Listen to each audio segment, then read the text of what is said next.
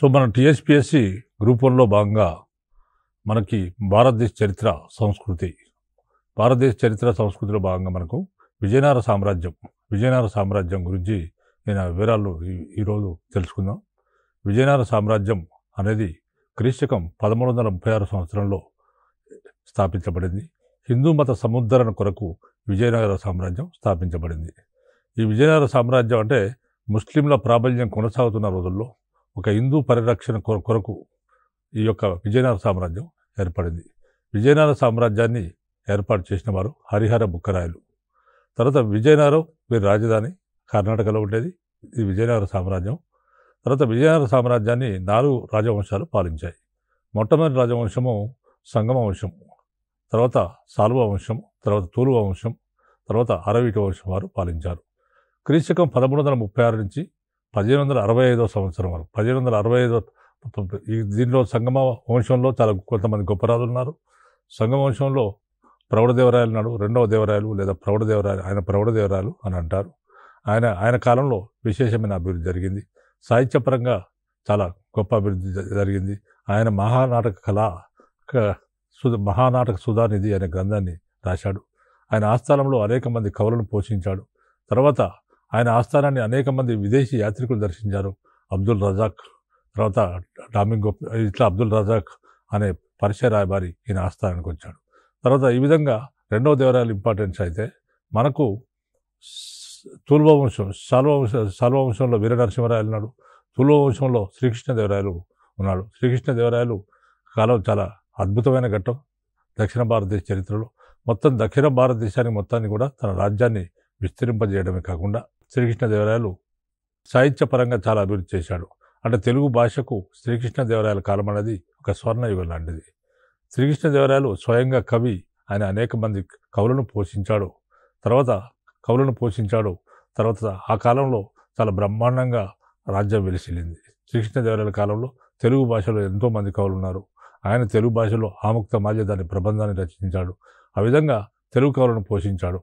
శ్రీకృష్ణదేవరాయల కాలం అనేది చాలా ముఖ్యమైనది. తర్వాత మనకు ఇది శ్రీకృష్ణదేవరాయలు తూర్వ వంశానికి చెందినవాడు. తర్వాత మనకు అరవీటి వంశం వారు పాలించారు. అంటే ఈ విధంగా పరిపాలిస్తున్న క్రమంలో క్రీశకం పదిహేను వందల అరవై ఐదు ఐదో పదిహేను వందల అరవై ఐదో సంవత్సరంలో రాక్షస్ తగ్గడి యుద్ధం జరిగింది. రాక్షస్ తగ్గడి లేదా తల్లి కోట లేదా బండిహట్టి ఈ మూడు ఒకటే పేర్లు. ఇదే ఇదే యుద్ధం ఈ యుద్ధం జరిగింది. యుద్ధంలో ముస్లింలు దక్షిణ భారతదేశంలో ఉన్న ముస్లిం రాజులు దక్షిణ భారతదేశంలో ఐదు ముస్లిం రాజ్యాలు ఉండేవి ఐదు ముస్లిం రాజ్యాలు ఏంటంటే గోల్కొండను కుతుబ్షాయిలు పాలించేవారు. తర్వాత అదేవిధంగా అహ్మద్ నగర్ను నిజాం సాయిలు పాలించేవారు నిజాం సాయిలు పాలించేవారు. తర్వాత బీజాపూర్ను ఆదిల్ ఆదిల్ సాయిలు పాలించేవారు. అదేవిధంగా బీదర్ను బరీద్ సాయిలు బరీద్ సాయిలు పాలించేవారు. తర్వాత బిరార్ను హిమాద్ సాయిలు పాలించేవారు. ఈ విధంగా ఐదు ముస్లిం రాజ్యాలు భారత దక్షిణ భారతదేశంలో ఉండేవి. వీళ్ళందరూ కూడా షియా ముస్లింలు. ఈ ఐదు ముస్లిం రాజ్యాల ఈ ఐదు ముస్లిం రాజ్యాలులో వీళ్ళందరూ ఐక్యమైపోయి విజయనగర సామ్రాజ్యాన్ని నాశనం చేయాలనే ఉద్దేశంతో క్రీశకం పదిహేను వందల అరవై ఐదు సంవత్సరంలో రాక్షస్ తగ్గడి యుద్ధంలో మాయో మోసం చేత మాయోపాయం చేత విజయనగర పాలకుడైన అలేరామరాయలను ఓడించి చంపి ఈ యొక్క విజయనగరాన్ని బాగా దోచుకోవడం జరిగింది. ఆ విజయనగరాన్ని దోచుకున్నాడు. ఆ విధంగా దోచుకున్న తర్వాత అరవీటి వంశం వారు కొంతమంది పెనుగొండకు వెళ్ళి అక్కడి నుంచి రాజధాని పెనుగొండను రాజధానిగా చేసుకొని అక్కడి నుంచి కొంతకాలం పాలించడం జరిగింది. సరే ఇది విజయనగర సామ్రాజ్యానికి సంబంధించిన ముఖ్య అంశాలు. తర్వాత విజయనగర సామ్రాజ్యం విజయనగర రాజ్య స్థాపన అనేది భారతదేశ చరిత్రలో ఒక ముఖ్య ఘట్టం. విజయనగర రాజ్య స్థాపన అనేది భారతదేశ చరిత్రలో ఒక ముఖ్య ఘట్టం. ఎందుకంటే హిందూ హిందూ ఉన్న పరిరక్షణ కొరకు ఈ రాజ్యం ఏర్పడింది. కాకతీయ కాకతీయుల రాజ్య పతనానంతరము అంటే కాకతీయ సామ్రాజ్యానికి అంటే గొప్ప రాజ్యం మళ్ళీ విజయనగర రాజ్యం. మధ్యలో అంత గొప్ప రాజ్యం లేదు. విజయనగర రాజ్య స్థాపన అనేది భారతదేశ చరిత్రలో ఒక ముఖ్యమైన ఘట్టం. కాకతీయ రాజ్య పతనానంతరం కృష్ణానదికి దక్షిణాన ఉన్న ప్రాంతాన్ని సమైక్యం చేసి వీరు తురుస్క విస్తరణ అరికట్టి సుమారు రెండున్నర శతాబ్దాల కాలం హిందూ మత సంస్కృతులకు రక్షణ కల్పించిన వారు విజయనగర పాలకులు. ఈ విధంగా హిందూ మత సంస్కృతి హిందూ మత సముద్ధరణ కొరకు ఏర్పడే రాజ్యం విజయనగర సామ్రాజ్యం. కృష్ణానదికి దక్షిణాన ఉన్న ప్రాంతాన్ని వీళ్ళంతా సమైక్యం చేశారు. అంటే ఆల్మోస్ట్ ఆల్ కర్ణాటకలో విజయనగర అనేది కర్ణాటకలో ఉంటుంది. కర్ణాటక నుంచి మొత్తం శ్రీకృష్ణదేవరాయల కాలం నాటికి ఈ రాజ్యం దక్షిణ భారతదేశాన్ని మొత్తాన్ని కూడా విస్తరించింది. దక్షిణ భారతదేశాన్ని మొత్తాన్ని కూడా విస్తరించింది. తర్వాత విజయనగరాన్ని రాజధానిగా చేసుకొని పాలించ పాలించిన వీరు విశాల సామ్రాజ్యాన్ని నిర్మించడంతో పాటు సాహిత్య సాంస్కృతిక రంగాల రంగాలకు ఎనలేని సేవ చేశారు. తర్వాత వీరి కాలంలో సాహిత్యం చాలా అభివృద్ధి చెందింది. ఎందుకంటే చాలామంది రాజులు చాలామంది రాజులు చాలామంది పాలకులు స్వయంగా కవులు వీరు కవులే కాకుండా కవులను పోషించారు. కవులే కాకుండా కవులను పోషించారు కాబట్టి ఈ కాలంలో కవులను పోషించారు. తర్వాత వ్యవసాయానికి చెరువుల నిర్మాణం చేపట్టారు. సాగు తాగునీటికి సాగునీటికి చెరువులను నిర్మాణం చేపట్టారు. తర్వాత అనేక దేవాలయాలు నిర్మించారు. కాబట్టి అనేక సాహిత్యమే కాకుండా అనేక లలిత కళలు సంగీతము నాట్యము చిత్రలేఖనం కూడా ఈ కాలంలో వృద్ధి చెందాయి. చిత్రలేఖనం కూడా ఈ కాలంలో వృద్ధి చెందాయి.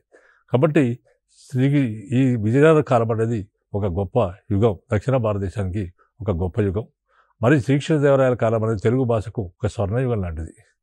స్వర్ణ యుగం లాంటిది. కాబట్టి వీరి కాలంలో మనకు దక్షిణ భారతదేశం అన్ని రంగాల్లో విలసిల్లింది అన్ని రంగాల్లో అభివృద్ధి చెందింది.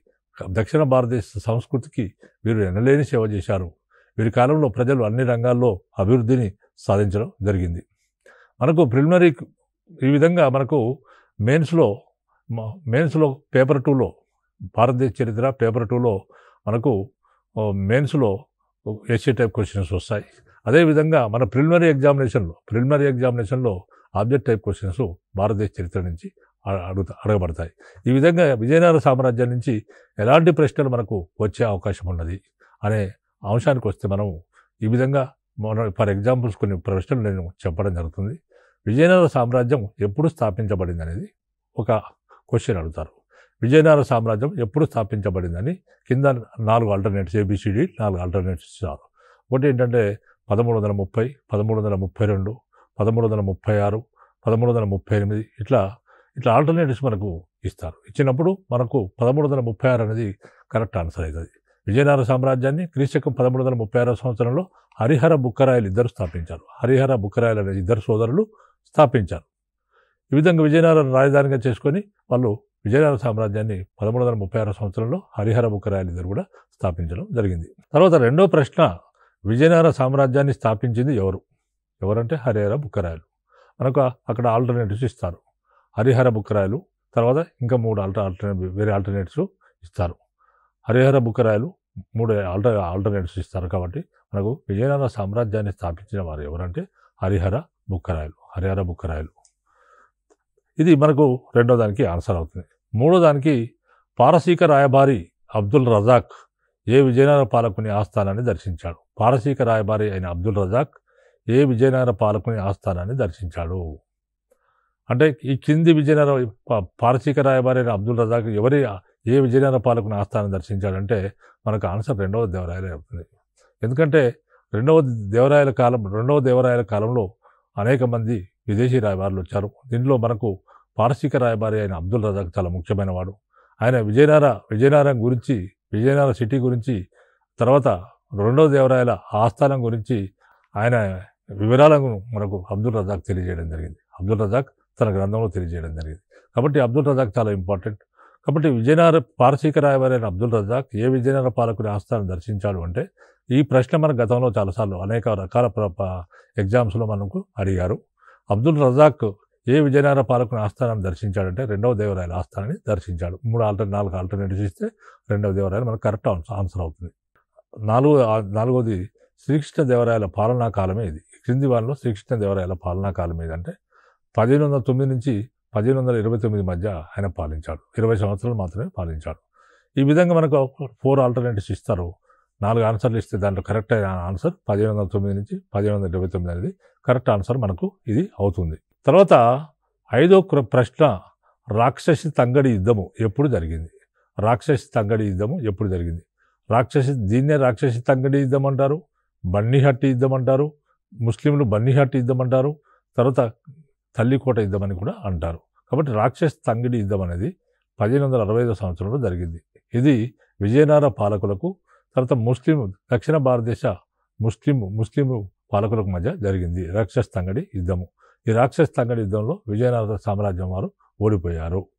ఆ దా దాని ద్వారా మరి ఈ విధంగా విజయనగర సామ్రాజ్యాన్ని ముస్లింలు దోచుకున్నారు. విజయనగర సిటీని ముస్లింలు దోచుకున్నారు దోచుకోవడం జరిగింది. ఈ దోచుకునే విధానాన్ని రాబర్ట్ సివెల్ రాబర్ట్ సివెల్ అనే చరిత్రకారుడు ది ఫర్గాటన్ ఎంపైర్ అనే పుస్తకంలో చెప్పడం జరిగింది. విజయనగరాన్ని ఏ విధంగా దోచుకున్నారు? ఎట్లా నాశనమైంది? ఏ విధంగా ఇంత బంగారం లాంటి మంచి కలకల్లాడే నగరం ఎట్లా నాశనమైంది అనే విషయం మనకు రాబర్ట్ సివెల్ అనేవాడు చరిత్రకారుడు ది ఫర్గాటన్ ఎంపైర్ అనే గ్రంథాన్ని రాశాడు. ది ఫర్గాటన్ ఎంపైర్ అనే గ్రంథంలో ఆయన విజయనగరాన్ని ముస్లింలు ఏ విధంగా దోచుకున్నారు కలకలలాడుతున్న విజయనగరం ఏ విధంగా నాశనమైందనే విషయాన్ని ఆయన చెప్పాడు. ఇది కూడా ఈ బుక్ కూడా చాలా ఇంపార్టెంట్. ది ఫర్గాటన్ ఎంపైర్ ఎవరు రచించారంటే రాబర్ట్ సివల్ రచించాడు. తర్వాత రాక్షస్ తంగడి యుద్ధం మనకు పదిహేను వందల అరవై సంవత్సరంలో జరిగింది. తర్వాత సిక్స్త్ క్వశ్చన్ నాగులాపురం చెరువు నిర్మించింది ఎవరు? నాగులాపురం చెరువును ఎవరు నిర్మించారు? అంటే ఈ చెరువు నిర్మించిన వాడు శ్రీకృష్ణదేవరాయలు. ఈయన ఈయన శ్రీకృష్ణదేవరాయల తల్లి పేరు నాగాంబ కాబట్టి ఆమె పేరు మీద నాగులాపురం చెరువును ఆయనే నిర్మించడం జరిగింది. తర్వాత విజయనగరంలో జాగీర్దారీ పద్ధతి గల విజయనగరంలో జాగీర్దారీ పద్ధతి గల పేరు ఏంటి? విజయనగర రాజ్యంలో జాగీర్దారీ పద్ధతి గల పేరు ఏంటంటే అనేది మనకు ఇక్కడ అడుగుతారు. మనకు కాకతీయుల కాలంలో నాయంకర పద్ధతి ఉంది. తర్వాత మొఘళ్ళ కాలంలో ఓ పద్ధతి ఉన్నది తర్వాత మనకి అదేవిధంగా ఢిల్లీ సుల్తానా కాలం ఇక్తా పద్ధతి ఉన్నది తర్వాత ఈ విధంగా మనకు రకరకాల పద్ధతులు రకరకాల కాలాలు ఉన్నాయి మరి విజయనగర కాలంలో జాగీర్దారి పద్ధతి గల పేరు ఏంటంటే అమరనాయక పద్ధతి అని అంటారు. అమరనాయక పద్ధతి అని అంటారు. ఆ విధంగా నాలుగు ఆల్టర్నేటివ్స్ ఇచ్చినప్పుడు ఈనాడు అంటే ఈ భూముల పద్ధతి జాగీర్దారి పద్ధతి అంటే ఈ భూములు కొంతమంది కొంతమందికి ఇచ్చేవాళ్ళు. అంటే తమకు విశ్వాసపాత్రుడైన వాళ్ళకు భూములను ఇచ్చేవారు. భూములను ఇస్తే వారు ఆ భూములను అనుభవిస్తూ సైన్యాలను సొంత సైన్యాలను పోషించేవారు. ఆ సొంత సైన్యాలను పోషించి రాజుకు యుద్ధ సమయాలలో సరఫరా చేసేవారు. రాజుకు యుద్ధ సమయాల్లో సరఫరా చేసేవారు. దీన్ని అమరనాయక విధానం అంటారు. వెళ్ళిన అమరనాయకులని అంటారు. అంటే రాజులు తమకు విశ్వాసపాత్రులైన కొంతమందిని చూసుకొని వారి కొన్ని భూములు కానీ కొన్ని గ్రామాలు కానీ ఇచ్చి ఆ గ్రామాల్లో ఆ భూములు వారు అనుభవిస్తూ తన ఒక సొంత సైన్యాన్ని మెయింటైన్ చేసి యుద్ధ సమయాల్లో రాజుకు సైన్యాన్ని సరఫరా చేసే పద్ధతి అనమాట దీన్ని అమరనాయక పద్ధతి అని అంటారు.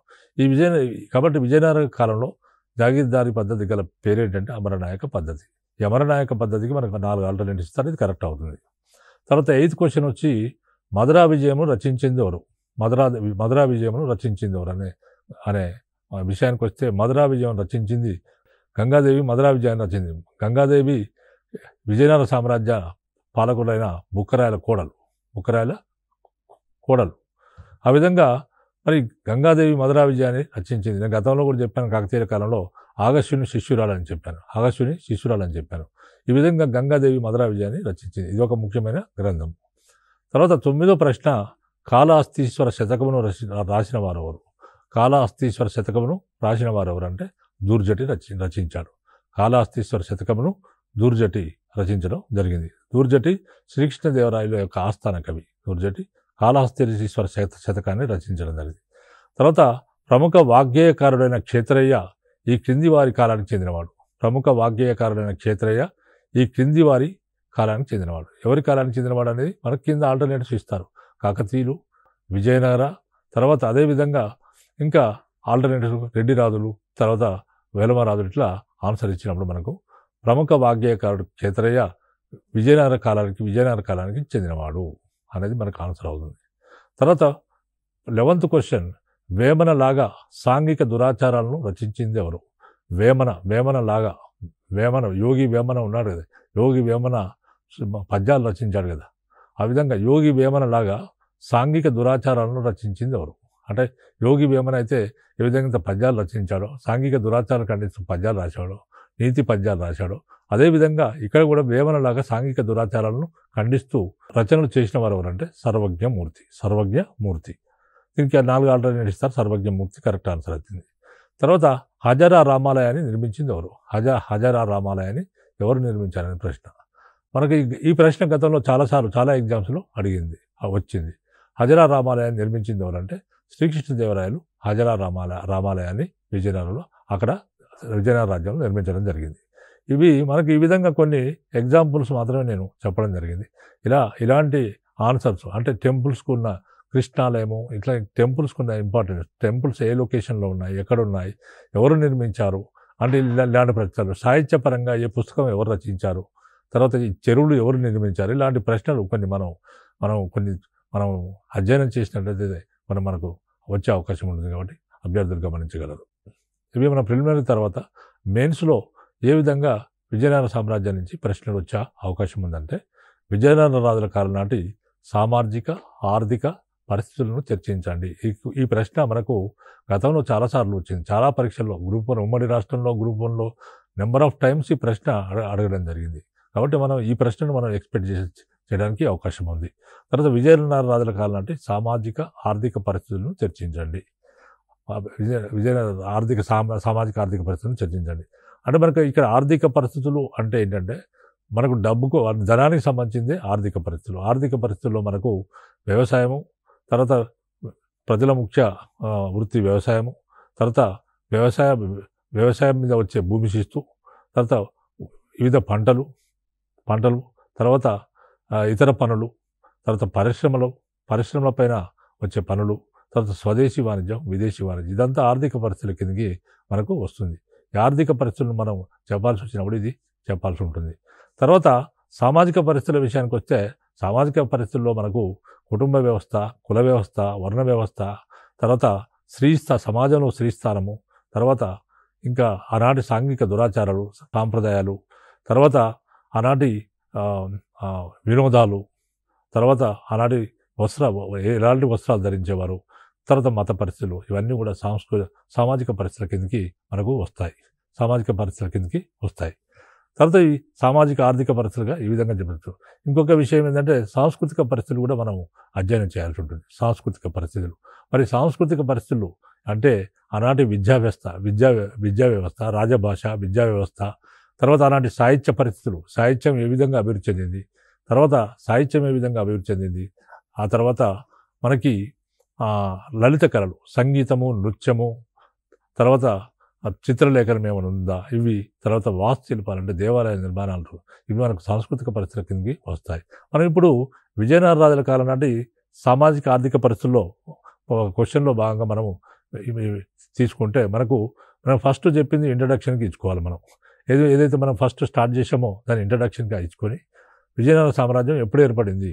ఏ విధంగా ఏర్పడింది? విజయనగర సామ్రాజ్య కాలంలో మరి ఆర్థిక పరంగా మనము ఇక్కడ క్వశ్చన్ క్వశ్చన్లో ఉన్న దానికి అనుకూలంగా ఆన్సర్ కూడా ఒక మొత్తం మన కింద ఇచ్చే ఆన్సర్ కూడా మొత్తం ఆన్సర్ని ఒక నాలుగైదు లైన్లో షార్ట్ కట్గా ఇంట్రడక్షన్గా ఇవ్వాల్సి ఉంటుంది. అంటే ఆర్థికంగా చాలా విజయనగర కాలంలో ఆర్థికంగా చాలా అభివృద్ధి చెందింది. తర్వాత సామాజికంగా కూడా అన్ని రంగాల్లో అభివృద్ధి చెందింది అనే విషయాన్ని మనం పైన చెప్పి మనం ఫస్ట్ నేనైతే ఇంట్రడక్షన్ చెప్పానో దానికి దీనికి ఇంట్రడక్షన్గా పనికొస్తుంది. కాబట్టి ఇప్పుడు ఆర్థిక పరిస్థితుల్లో మనకు వ్యవసాయము ప్రజల యొక్క ముఖ్య వృత్తి. వ్యవసాయము ప్రజల యొక్క ముఖ్య వృత్తి. ప్రజల యొక్క ముఖ్య వృత్తి ఏంటంటే వ్యవసాయం. మరి ఈనాటి పంటలు ఏం పంటలు పండించేవారు అంటే వరి జొన్న రాగి నువ్వులు చెరుకు కొబ్బరి మామిడి పప్పు దినుసులు మొదలైన ధాన్యాలు పండించేవారు. ఇవన్నీ పంటలు పండించేవారు. వరి జొన్న రాగి నువ్వులు చెరుకు కొబ్బరి మామిడి తర్వాత పప్పు దినుసు మొదలైన ధాన్యాలు పండించేవారు. తర్వాత పాలకులు నీటిపారుదల సౌకర్యాలు కల్పించారు. అంటే వ్యవసాయానికి కానీ తాగునీటికి కానీ సాగునీటికి కానీ పాలకులు నీటిపారుదల సౌకర్యాలు బ్రంగా బ్రహ్మాండంగా కల్పించడం జరిగింది. తర్వాత అడవులను నరికించి పన్ను మినాయింపులు ఇచ్చి చక్రవర్తులు వ్యవసాయ భూములు విస్తీర్ణం పెంచారు. అంటే కొంతమందికి ఏం చేశారంటే రాజులు పాలకులు ఏం చేశారంటే మీరు అడవులు నరకండి నరికి వ్యవసాయ భూమి వ్యవసాయ యోగ్యమైన భూములు చేయండి మీకు ఒక ఐదు సంవత్సరాలు పది పది సంవత్సరాలు మీకు పన్నులు లేకుండా అది యాభై భూములు మీరు చేసుకోండి. మేము పన్నులు వసూలు చేయం మీకు అని ప్రోత్సహించారు. దానివల్ల ఏం చేశారు? అనేక మంది ప్రజలు అడవులను అడవులను నరికి ఈ- విధంగా వాళ్ళు నూతన వ్యవసాయ భూములు వెలుగులోకి తీసుకొచ్చారు. దానివల్ల ప్రభుత్వానికి మేలు జరిగింది వాళ్ళకి మేలు జరిగింది. ఆ విధంగా నూతన వ్యవసాయ భూములు వెలుగులోకి వచ్చాయి. తర్వాత ఒక ఐదు సంవత్సరాలు లేదా పది సంవత్సరాలు వాళ్ళకి పన్నులు లేని పన్నులు లేకుండా ఆ భూములు వాళ్ళకి ఇవ్వడం జరిగింది. ఆ విధంగా వీళ్ళు విజయనగర పాలకులు ఈ విధంగా భూముల విస్తీర్ణాన్ని పెంచడానికి ఇలాంటి ప- పద్ధతులను అనుసరించారు. తర్వాత బుక్కరాయలు పెనుగొండ దగ్గర సిరివేరు తటాకం నిర్మించాడు. మనకు విజయనగర సామ్రాజ్య స్థాపకుల్లో ఒకరైన బుక్కరాయలు పెనుగొండ దగ్గర అనంతపురం జిల్లా పెనుగొండ దగ్గర సిరివేరు సిరివేరు తటాకం అనే చెరువును నిర్మించాడు. తర్వాత సాల్వ నరసింహుని కాలంలో అనంతపురం దగ్గర సాల్వ నరసింహుడు అనంతపురం దగ్గర నరసాంబది అనే చెరువుని చూపించాడు నరసాంబది అనే తటాకం ఆ చెరువు తవ్వించాడు ఎవరు? సాల్వ నరసింహరాయలు. తర్వాత శ్రీకృష్ణదేవరాయలు పోర్చుగీస్ ఇంజనీర్ల సాయంతో నాగులాపురం తటాకం నిర్మించాడు. శ్రీకృష్ణదేవరాయలు విజయనగర సామ్రాజ్యంలో తన గొప్ప చక్రవర్తి ఎవరంటే శ్రీకృష్ణదేవరాయలు. శ్రీకృష్ణదేవరాయలు పోర్చుగీస్ ఇంజనీర్ల సహాయంతో నాగులాపురం నాగులాపురం తటాక్ నాగులాపురం చెరువు తవ్వించాడు. తర్వాత అంటే ఆమె తల్లి పేరు తల్లి పేరు పేరు మీద నాగులాపురం చెరువు ఆయన తవ్వించడం జరిగింది. తర్వాత ప్రతి గ్రామంలో కూడా వ్యవసాయ సంబంధమైన పరిశ్రమలు ఉండేవి. ప్రతి గ్రామంలో వ్యవసాయ సంబంధమైన పరిశ్రమలు ఉండేవి. అంటే వ్యవసాయ ఆధారిత పరిశ్రమలు. ఇప్పుడు చెరుకు ఉంటే దాన్ని బెల్లంగా తయారు చేయడం ఒక పరిశ్రమ. చెరుకు పండిస్తే దాన్ని బెల్లంగా తయారు చేయడం. ఈ విధంగా వ్యవసాయ ఆధారిత పరిశ్రమలు అంటే వేరే పంటలు పండించేవారు వేరే పరిశ్రమల్లో పరిశ్రమలు నడిపించేవారు. వ్యవసాయ ఆధారిత పరిశ్రమలు నడిపించేవారు. కాబట్టి ఈ విధంగా ప్రతి గ్రామం కూడా స్వయం పోషకమై స్వయం సమృద్ధమై ఉండేది. స్వయం పోషకం అంటే ఆ గ్రామం ప్రొడక్ట్స్ వాళ్ళు వాళ్ళే తింటారు. బయట నుంచి ఏ ప్రొడక్ట్స్ తెచ్చుకోరు. వాళ్ళు ప్రతి ఆ గ్రామంకి సంబంధించిన అవసరాలు వాళ్ళు తీసుకోరు. స్వయం రక్షితం అంటే ఆ గ్రామ రక్షణ బాధ్యతలు కూడా బయట వాళ్ళతో సంబంధం లేకుండా వారే నిర్వహించుకుంటారు. కాబట్టి ఈ విధంగా స్వయం పోషకమై స్వయం రక్షితమైన గ్రామాలు ఈ కాలంలో ఉండేవి. తర్వాత బెల్లము తర్వాత నూనె నూనె తయారీ వంటి చిన్న చిన్న పరిశ్రమలు ఉండేది అంటే గింజలు ఇట్లా కొన్ని గింజలు తీసి దాని నుంచి బెల్లం తీసేయాలి. సార్ నూనె తీసేవారు. తర్వాత చెరుకు నుంచి బెల్లం తీసే ప్రక్రియ కొనసాగుతుండేది. తర్వాత వస్త్ర పరిశ్రమ ఉండేది. వస్త్ర పరిశ్రమ ఉండేది. వస్త్రాలను తామే స్వయంగా నేర్చుకునే పద్ధతి ఈ కాలంలో ఉండేది. తర్వాత విరామ సమయంలో రైతు రైతు స్త్రీలు రాట్నాలపై నూలు ఒడికేవారు. విరామ ఖాళీ సమయాలలో రైతుల యొక్క భార్యలు లేకపోతే వాళ్ళ తల్లి కానీ భార్య కానీ ఇంట్లో ఉన్న ఆడవాళ్ళందరూ కూడా రాట్నాలపైన నూలు నూలును ఒడికేవారు. ఈ విధంగా తాడిపత్రి ఆదోని గుత్తి వినుకొండ మొదలైన కేంద్రాలు నూలు పరిశ్రమకు కేంద్రాలుగా ఉండేవి. నూలు పరిశ్రమకు ప్రముఖ కేంద్రాలు ఏంటంటే తాడిపత్రి అదోని గుత్తి వినుకొండ. తర్వాత కర్నూలు గుత్తి అనంతపురం ప్రాంతాల్లో ఈ ప్రాంతాల్లో దొరికేవి. అనంతపురం ప్రాంతాల్లో మంచిగా ఈ వస్త్రాలు ఇట్లా బాగా దొరికేవి. తర్వాత విజయనగర దేశులు రాకపోకల సౌకర్యాలు కల్పించి దేశీయ విదేశీ వాణిజ్యం పెంపొందించారు. విజయనగర రాజులు రాకపోకల సౌకర్యాలు కల్పించారు. రాకపోకల సౌకర్యాలు అంటే ట్రాన్స్పోర్ట్ ఫెసిలిటీస్ రోడ్లు రహదారులు రహదారులు ముందుగా మనగా రహదారులు నిర్మించారు. ఆ విధంగా రహదారులు నిర్మించి దేశీయ విదేశీ వాణిజ్యాన్ని ప్రోత్సహించడం జరిగింది పెంపొందించడం జరిగింది. తర్వాత రాచబాటలు దండుబాటలుగా కూడా ఉపయోగించారు. రాచబాటలు రాచబాటలు అంటే మనకు రోడ్లు దండుబాటలుగా కూడా ఉపయోగించుకో రాచబాటలు అంటే రాజు యొక్క బాటలు అంటే రాజు ప్రయాణించే బాటలను కూడా దండుబాట్లుగా మీరు ఉపయోగించారు. తర్వాత విదేశీ వాణిజ్యము తీర ప్రాంతాల్లోని రేవుల ద్వారా జరిగేది. విదేశీ వాణిజ్యం బ్రహ్మాండంగా సాగేది. తీర ప్రాంతాల్లోని రేవులు రేవుల ద్వారా సముద్రం ద్వారా విదేశీ వాణిజ్యం సాగేది. మరి ఏ దేశాలతోని విదేశీ వాణిజ్యం జరిగేదంటే అరబ్బు మనకు రకరకాల దేశాలతోని అంటే అరబ్బులు మన ముఖ్యంగా ఈ రేవు ప్రాంతాల నుంచి అరబ్బులు పోర్చుగీస్ వారు చేసేవారు. అంటే అరబ్బులు పోర్చుగీస్ వారు మీడియేటర్స్గా ఉండి మధ్యవర్తులుగా ఉండి వర్తకం చేసేవారు. విదేశీ వాణిజ్యానికి అరబ్బులు పోర్చుగీస్ వారు మీడియేటర్స్గా ఉండి వాళ్ళు వర్తకం చేసేవారు. తర్వాత మూడు విజయ విజయనగరంలో మనకు మూడు వందల పైగా ఓడరేవులు ఉండేవని అబ్దుల్ రజాక్ రచించారు రాశాడు. అబ్దుల్ రజాక్ గురించి చెప్పాను నేను ఆల్రెడీ. అబ్దుల్ రజాక్ రెండవ దేవరాయల కాలంలో పరిశ పరిచయరాయబడిన అబ్దుల్ రజాక్ రెండో దేవరాయల కాలంలో లేదా ప్రౌఢ దేవరాయల కాలంలో విజయనగర సారా రాజ్యాన్ని దర్శించాడు. ఆనాటి విజయనగర పరిస్థితులను ఆయన వివరించాడు. కాబట్టి విజయనగరంలో అబ్దుల్ రజాక్ ఏం చెప్తున్నాడంటే విజయనగరంలో మూడు వందలకు పైగా ఓడరేవులు ఉన్నాయని చెప్తున్నాడు. విజయనగరంలో మూడు వందలకు పైగా ఓడరేవులు ఉండేవని అబ్దుల్ రజాక్ ద్వారా మనకు తెలుస్తుంది. తర్వాత దీనిలో చాలా వరకు పశ్చిమ తీరంలోనివి. ఈ ఓడరేవులు ఏంటంటే మరి ఇవి పశ్చిమ తీరంలో ఎక్కువగా ఉండేవి. పశ్చిమ తీరంలో ఎక్కువగా ఉండేవి. వీటిలో చాలా వరకు పశ్చిమ తీరంలోని ఓడరేవులు ఉండేవి. అంటే పశ్చిమ తీరం అంటే అరేబియా సముద్ర తీరంలో ఉన్న ఓడరేవులు కాబట్టి ఈ పశ్చిమ తీరంలో ఉన్న ఓడరేవులు ఏంటంటే ఆంధ్ర ప్రాంతంలో మన బంగాళాఖాతం తీరంలో కూడా కొన్ని ఓడరేవులు ఉన్న ద్వారా వీరు విదేశీ వర్తకం చేశారు. మరి ఆంధ్ర ప్రాంతంలో ఇప్పుడు ఆంధ్ర ప్రాంతంలో ఉన్న మైలాపూర్ మైలాపూర్ తర్వాత పులికాట్ మోటుపల్లి మొదలైన ముఖ్య రేవులు మైలాపూర్ పులికాట్ మోటుపల్లి అనే ముఖ్య రేవుల ద్వారా ముఖ్యరేవుల ద్వారా ఇలా విదేశీ వాణిజ్యం జరిగేది. తర్వాత మోటుపల్లి కోసము కొండవీడు విజయనగరాల మధ్య చాలా కాలం ఘర్షణ జరిగింది. అంటే మోటుపల్లి ఓటు రేవు కోసము ఆంధ్ర ప్రా ఆంధ్ర ప్రాంతాన్ని కొండవీడు ప్రాంతాన్ని పరిపాలిస్తున్న రెడ్డి రాజులకు విజయనగర రాజులకు మధ్య ఘర్షణ జరిగింది. మోటుపల్లి ఓటరేవు గురించి. ఈ విధంగా చాలా కాలం ఘర్షణ జరిగింది. తర్వాత మొదటి మోటుపల్లిని మొదటి దేవరాయలు ఆక్రమించి అక్కడ ధర్మశాసనం వేయించాడు. మోటుపల్లిని సంగమవంశీయుడైన మొదటి దేవరాయలు ఆక్రమించి అక్కడ ధర్మశాస్త్రం క్రీశకం పద్నాలుగు వందల పదహారు సంవత్సరంలో అక్కడ ధర్మశాస్త్రాన్ని వేయించాడు. తర్వాత పెగు టెనాసరీం మలక సుమత్రాదేవులతో విదేశీ వాణిజ్యం బ్రహ్మాండంగా సాగేది. పెగు టెనాసరీం మలకా సుమత్రాదేవులతో ఇవన్నీ విదేశాలు విదేశీ వాణిజ్యం బ్రహ్మాండంగా జరుగుతుండేది. తర్వాత మేలుజాతి గుర్రాలు పచ్చ కర్పూరము పట్టు బట్టలు ముత్యాలు మనలు పారసీక వనతులు ఆయా రేవుల ద్వారా ఎగుమతి అయ్యేవి. మేలుజాతి గుర్రాలు మంచి మేలుజాతి గుర్రాలు పచ్చకర్పూరము పట్టుబట్టలు ముత్యాలు మనులు పారసిక వనితలు. అంటే పారసిక స్త్రీలు కూడా ఈ ఈ రేవుల ద్వారా ఎగుమతి అయ్యేవారట. ఇవి మనకు ఆర్థిక పరిస్థితుల్లో మనకు ప్రధానంగా ఈ అంశాలు మనం చెప్పుకోవచ్చు. అంటే ఇక్కడ మనకి ఏమి వచ్చింది? ఆర్థిక పరిస్థితుల్లో వ్యవసాయం గురించి వచ్చింది. తర్వాత భూమి శిస్తు వ్యవసాయము. తర్వాత ఇతర ఇతర పరిశ్రమలు ఇతర పనులు ఏముండే ఇతర పరిశ్రమలు ఏమేమి పరిశ్రమలు ఏమేమి ఉన్నాయి? తర్వాత ఈనాటి స్వదేశీ వాణిజ్యం విదేశీ వాణిజ్యం గురించి రావడం జరిగింది. ఈ విధంగా మనము ఆర్థిక పరిస్థితులను ఈ విధంగా మనం రాయాల్సి ఉంటుంది. ఆర్థిక పరిస్థితులు అంటే ఆదాయానికి సంబంధించిన పరిస్థితులు మాత్రమే ఆర్థిక పరిస్థితులు. ఈ ఆర్థిక పరిస్థితులను మనం ఈ విధంగా రాయాల్సి ఉంటుంది. నెక్స్ట్ సామాజిక పరిస్థితులు గురించి కూడా చెప్పాల్సి ఉంటుంది. తర్వాత మనకు ఈనాటి సామాజిక పరిస్థితుల్లో ఆర్థిక పరిస్థితులు కాబట్టి ఈ ఎపిసోడ్లో ఆర్థిక పరిస్థితులు కంప్లీట్ అవుతుంది కాబట్టి నెక్స్ట్ ఎపిసోడ్లో సామాజిక పరిస్థితులు నెక్స్ట్ ఎపిసోడ్లో సామాజిక పరిస్థితులు చెప్పవచ్చు అయితే మనకు విజయనగర కాలంలో ముఖ్యంగా మనకు ఈ విధంగా ఇంట్రడక్షన్ ఇవ్వాల్సి ఉంటుంది. ఫస్ట్ నేను చెప్పినట్టు ఇంట్రడక్షన్ ఇవ్వాల్సి ఉంటుంది. విజయనగర రాజులు విజయనగర యుగం అనేది దక్షిణ భారతదేశ చరిత్రలో ఒక ముఖ్య ఘట్టం. దక్షిణ భారతదేశ చరిత్రలో విజయనగర రాజ్య స్థాపన అనేది ఒక ముఖ్య ఘట్టం. విజయనగర రాజులు హిందూ మత సముద్ధరణ కొరకు హిందూ మత సముద్ధరణ కొరకు తురుష్కుల ప- పరిపాలనలో ప్రజలు ఇబ్బంది పడుతున్న కాలంలో హిందూ మత సముద్ధరణ కొరకు విజయనగర సామ్రాజ్యం అనేది ఏర్పడింది.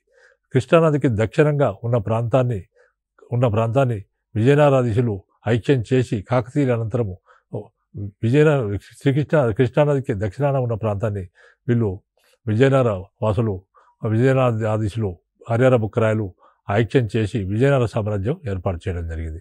విజయనగర సామ్రాజ్య కాలంలో విజయనగర సామ్రాజ్యము పాలకులు సాహిత్య సాహిత్య రంగాల్లో తర్వాత సాంస్కృతిక రంగాల్లో తర్వాత సాంస్కృతిక రంగ రంగాల్లో ఈ యొక్క ఎంతో అభివృద్ధి చేశారు అనేది ముఖ్యాంశంగా మనం చెప్పాల్సి ఉంటుంది.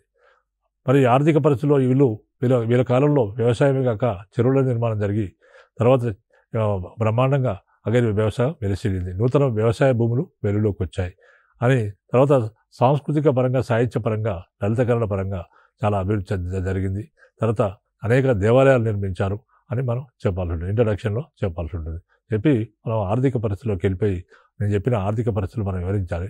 తర్వాత సాంఘిక పరిస్థితుల గురించి చెప్పినట్లయితే క్వశ్చన్ కంప్లీట్ అవుతుంది. కాబట్టి మీరందరూ ఈ నేను చెప్పిన మేరకు మీరందరూ గమనించాలి. గమనించి మీరందరికీ కూడా మంచి ప్రశ్నలు మంచిగా సక్సెస్ఫుల్గా రాయాలని కోరుకుంటూ మీరు విజయం సాధించాలని కోరుకుంటూ ముగిస్తున్నాను